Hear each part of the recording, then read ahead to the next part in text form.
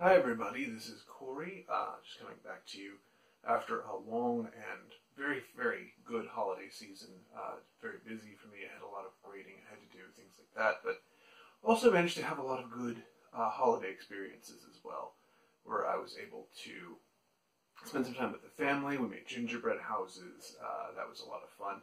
Uh, had a little family trip to New York as well. That was uh, fantastic. Got to go see the tree in Rockefeller Center uh, a few other things like that. So, all in all, a very good holiday season. Uh, I'm coming to you today uh, partly because I want to share with you some of the things that I got uh, throughout the holiday season that I think might be interesting to you uh, as our listeners uh, for our podcast and for our shows here on the YouTube channel as well. Things that have to do with folklore or magic, things like that. so I'll get to those in just a second. I want to start though with the things in my lap. Uh, you may recognize these are the Haunted Mansion playing cards. Uh, the little doll, which is nicely wrapped up, ready to be shipped. A copy of my book 54 Devils. Uh, and then the Harry Potter History of Magic as well. Uh, all of that was part of our uh, contest that we were doing during the month of December, uh, which closed on December 31st, 2018, so ringing out the old year we uh, do have a winner. And so I wanted to say congratulations to Abbi C., uh, who is our winner for this contest. Uh, she shared around several of our different videos, got uh, multiple entries, and I think that probably helped her in the long run. Uh, and uh, so congratulations, Abbi. We really appreciate you sharing New World Witchery with others. you will be getting this prize pack. We'll be trying to get in touch with you, hopefully, uh, via some sort of social media. I think that we are connected there. Uh, if not, uh, if you happen to see this before we've gotten in touch with you, feel free to send us an email at compassandkey at gmail.com, uh, and we'll make sure to get this prize pack in the mail to you soon, all right?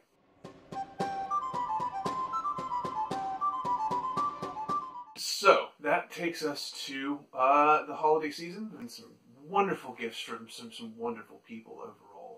Uh, had a lot of really, really cool stuff kind of come my way.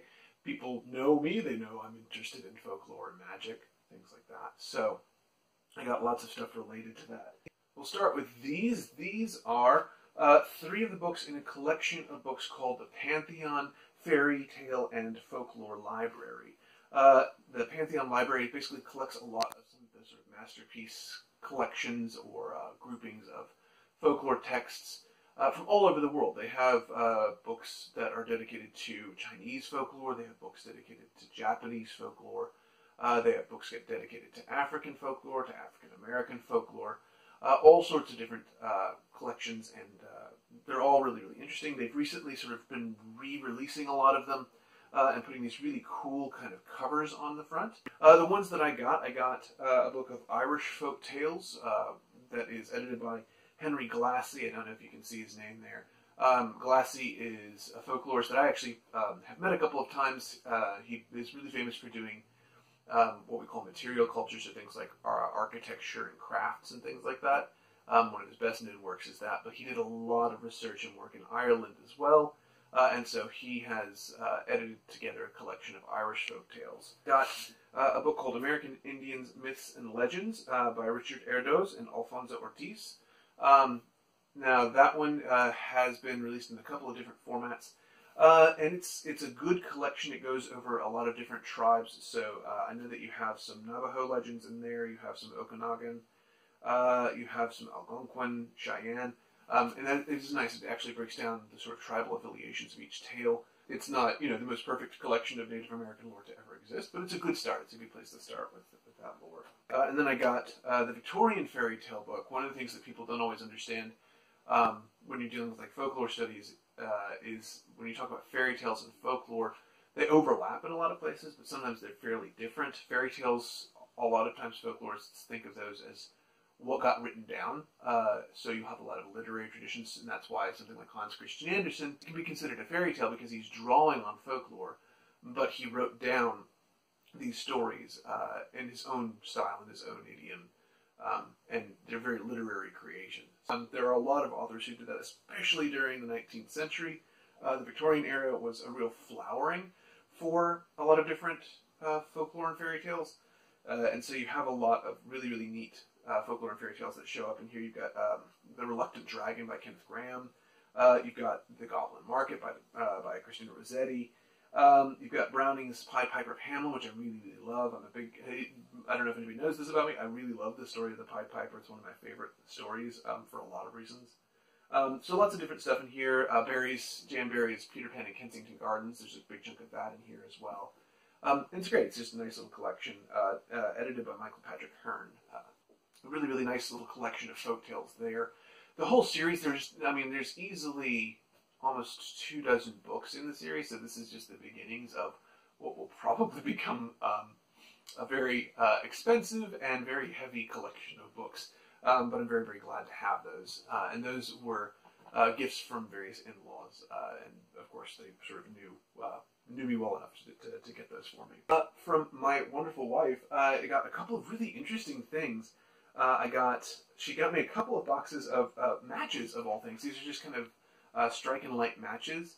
Um, and they're not specifically witchy, but I, I, can't help but, you know, think of them as being a little bit witchy, a little bit magical. I think that's kind of cool. You know, use them to light candles. Um, and, you know, they're, they're fun. I love them. They're, they're cute. Uh, the other thing she got me, which is really kind of neat, uh, she got me tarot cards. Now, I'm not a tarot reader necessarily. Um, I can fiddle around with tarot, and I like tarot fairly well. Uh, these, however, have some additional significance. They're kind of neat because they are Steven Universe uh, tarot cards, and they're only the major arcana. Uh, they don't have the entire set uh, of the tarot cards. They don't do all the minor arcana uh, in there, but you do have a lot of really, really neat uh, different images from the Steven Universe animated show that are associated with these different sorts of archetypes from the tarot as well. Um, so you can see Rose Rose winds up being used a couple of different times for a couple of different things. She's the sun and she's the empress. Uh, Pearl represents the hanged man, which I think is a, a very clever uh, interpretation of that. Uh, strength is one of my favorites. I don't know if I can find that. Oh, there's uh, the lovers, which is Greg and Rose, but there's also they have a couple of variations on some of them. So with the lovers, you actually have uh, yeah, they're there. Uh, Ruby and Sapphire as well from that series. Uh, if you don't know the series, this probably doesn't make a whole lot of sense to you, um, but the series is fantastic. The series is this kind of um, neo-futuristic fairy tale. Uh, Steven himself is a 14-year-old boy who is just kind of learning about his past and his history. Uh, his mother was this this sort of materialized uh, alien being called a crystal gem um, and there's a whole mythology that goes with this. Uh, but she uh, had to give up her existence so that he could come into existence. And he is struggling with what that means. His father is human, his mother is this sort of gem alien. He has these three, basically, aunts who are also his caretakers, who are also crystal gems. Um, beautiful story, lots of really, really neat storytelling, very emotionally resonant. My wife and I love it. We love watching it with our kids. Um, great characters. Uh, this is uh, one of my favorite kind of quirky characters, Peridot, uh, who's the hermit. Makes a lot of sense. She's very tech obsessed, likes to kind of be left alone. And then I love Steven with his, he has sort of a pet lion um, named Lion, uh, who, uh, if you know the strength card, this, this really plays very, very well with that imagery. So love getting these tarot cards. They're so perfect uh, on so many levels for me. Uh, just really shows she's paying attention, uh, really thoughtful about that. So uh, loved it. It was great. Uh, can't can't be happier with with those. Those are great. And then uh, I also got a couple of other books um, that I think would be of interest to folks here. One of them, this is not explicitly a witchcraft book, and it's not really explicitly a folklore book uh, in and of itself, but uh, hits a lot of those bases. So this is Anthony Bourdain's Hungry Ghosts, um, which was written, sort of collected material collected by Anthony Bourdain and put together by a fellow named Joel Rose, who collaborated with Bourdain on a couple of other things. Um, they use a lot of Dark Horse horror comic artists to complete uh, this. It is a graphic novel. Uh, if you don't know that, it is a graphic novelization um, of a series of stories. It's it's set up as a, a challenge or a dare, where a group of chefs uh, have catered a banquet for a notorious gangster, and he invites them to play this famous sort of Japanese samurai folklore game uh, where everybody tells ghost stories and then extinguishes a candle in the next room and looks in the mirror to see if, um, if, they've been replaced by a demon from the process of telling the story.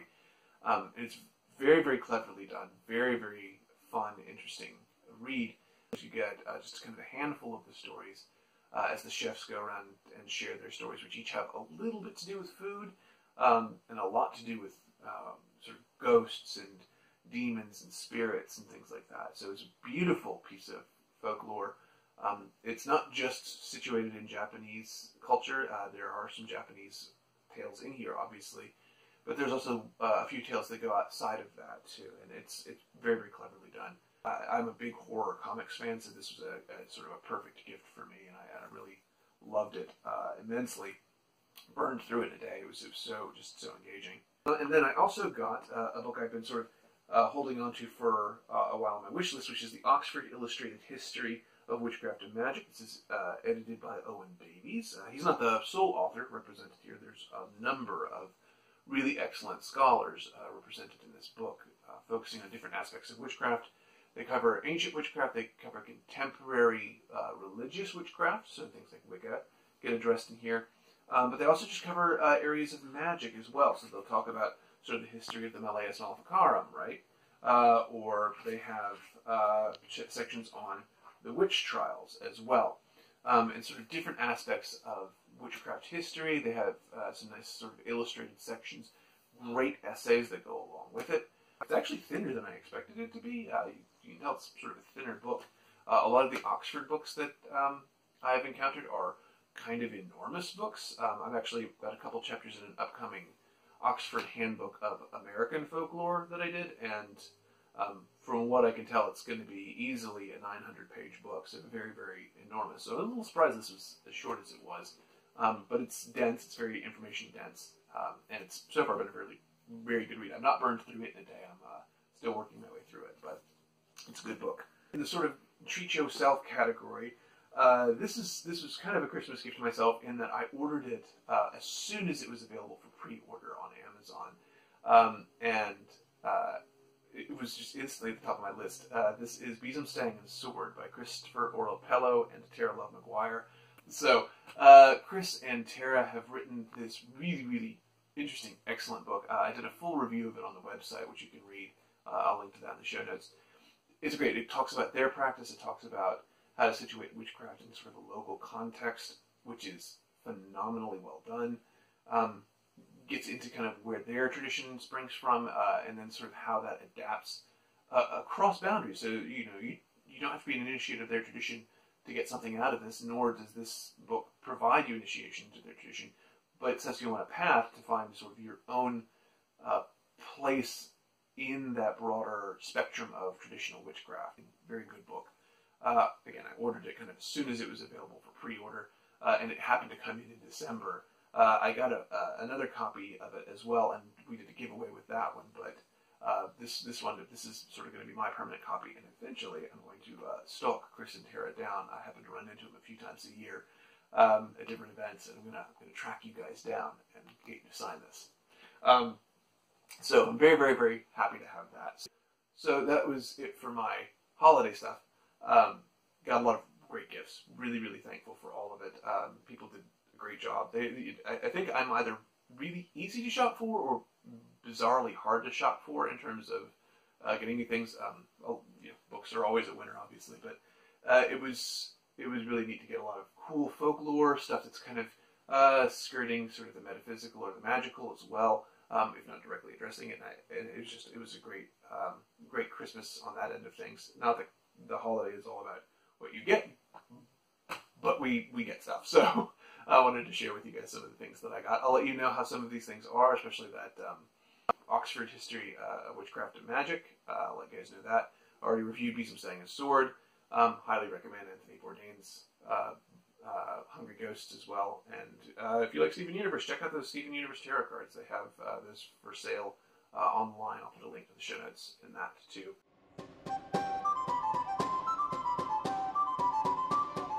Uh, okay, the final thing, we rang out the old year with a contest. We're going to ring in the new year with a contest. Uh, this contest is brought to us by one of our Patreon supporters and one of our, our very good friends, Kat.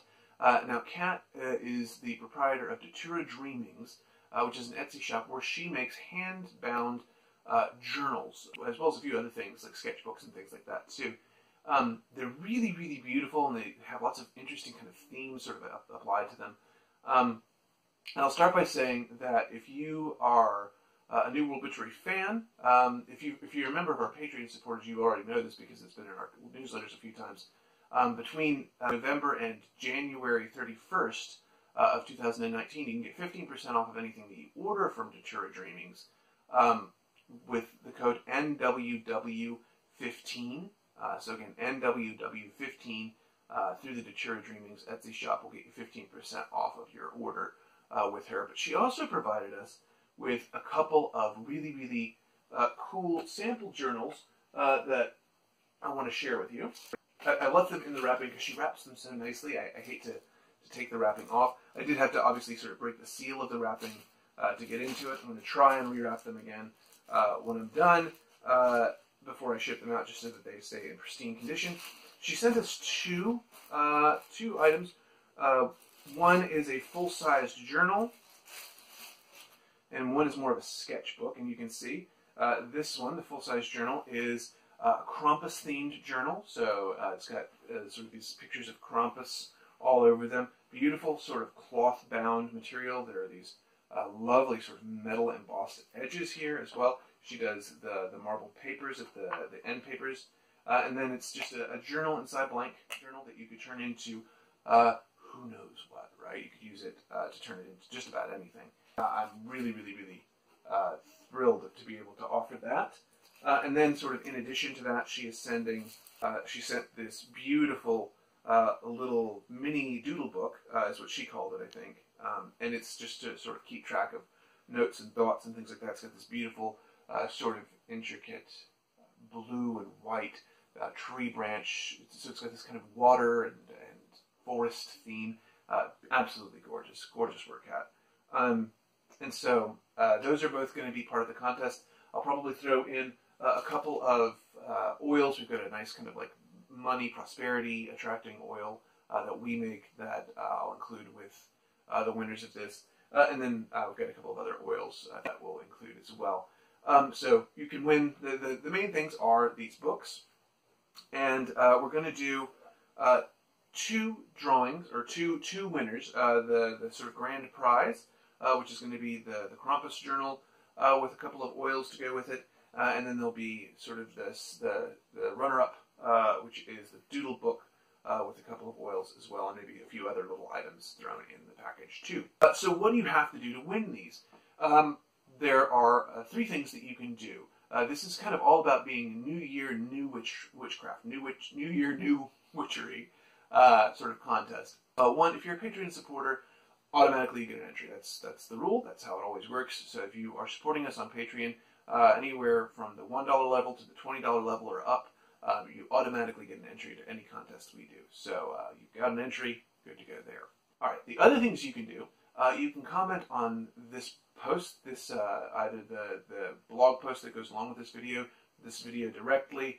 Uh, you can comment on the Facebook post where we share this, the Twitter post where we share this, or even the Instagram post where we share this. Uh, and we want to know what was your favorite witchy book that you read in the past year? Uh, was there a, a, favorite witchy read, a book that made a, a big impact on you? Um, is it changing your practice for the coming year? Like, what was the impact of that book? Why do you recommend it?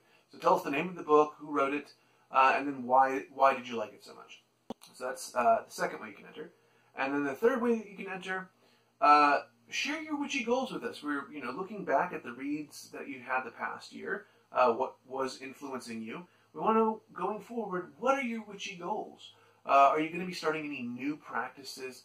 Um, do you uh, have a desire to sort of recommit to the existing practices you have? How are you going to do that? What are you going to do to go about that? Especially if you have things like magical self-care rituals, ways that you can sort of re-up your practice a little bit, uh, or that you can sort of take care of yourself and make sure that you have what you need, magically speaking, um, to take care of, of you and yours. Um, are you going to be trying to learn something new as a part of your witchcraft? Are you beginning a new tradition? Are you pursuing a new path? Um, we want to hear about that. We'd be really, really interested in that. Uh, so you can comment, uh, again, on the blog post where this is shared, this particular YouTube video. You can comment on our Facebook, uh, Twitter, or Instagram shares of this contest video as well. Um, so up to three entries there that you can get. Uh, Patreon supporter, what books did you love the past year uh, in terms of witchy reads? Uh, and then what are you uh, planning for the coming year in terms of witchy goals? Um, this one has a little tighter of a timeline. You have until midnight on January 11th to get this into us. At midnight Eastern Standard Time, uh, United States Eastern Standard Time, uh, on January 11th to get your name in the hat for these uh, two really, really awesome uh, journals.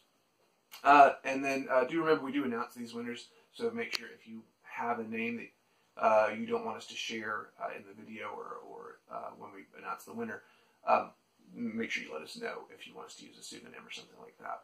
Um, and then make sure that you're watching the YouTube channel for these announcements. We tend to announce the contests via the YouTube channel now, uh, and we announce them elsewhere too. But uh, we want to make sure people know that they're they've been selected uh, as a winner for a specific contest. So uh, that's really it. I just kind of wanted to pop in and share a few of these things with you all. Um, we're so happy to have you watching us. Please do like, share, subscribe, uh, spread around the love on New World Witchery. We really appreciate it when you do that uh, mean a lot to us because it gets the word out about us. Um, and we want people to find us. We want people to, to actually get something out of out of uh, the show and out of the website and everything too. So um, the more you share us, the the more people we reach, the mm, the better we can be too. So uh, we appreciate that, uh, and that's going to be it. Thank you so much for watching, uh, and we'll talk to you again soon.